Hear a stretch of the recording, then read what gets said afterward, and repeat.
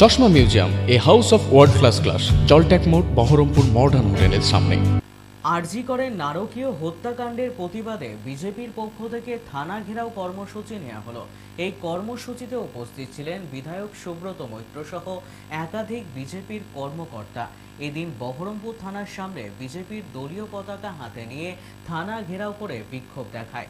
রাজ্যের মুখ্যমন্ত্রী পুলিশকে আড়াল করবার জন্য যে কর্মকাণ্ড করেছে, তা তীব্র ধিক্কার জানিয়ে পদত্যাগের দাবি জানান। অন্যদিকে অবিলম্বে নির্যাতন ধর্ষণ ও খুনের মামলায় দোষীদের ধরে তাদের কঠোরতর শাস্তির দাবি জানান তারা। ধর্ষণ করে খুন করা হয়েছে। এবং পুলিশের অসহযোগিতা অসহযোগিতা আমরা ফিরিয়ে নাও আমার দিদিকে ফিরিয়ে দাও। দিল তোমার বিচার চাই। আরে শাসক তোমার কিসের পান্ডার ফিরিয়ে নাও আমার দিদিকে ফিরিয়ে দাও কবিতাটা এরকম।